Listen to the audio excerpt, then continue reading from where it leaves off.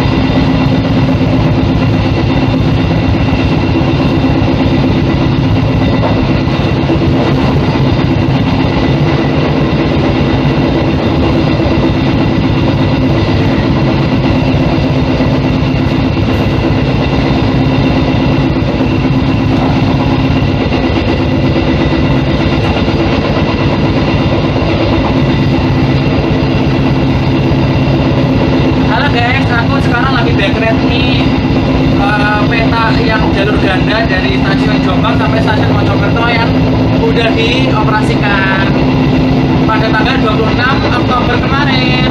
Jangan lupa nanti eh, lihat videonya tayang di YouTube ya. Jangan lupa videonya nanti tayang di YouTube. Jangan lupa like, comment, dan subscribe pokoknya.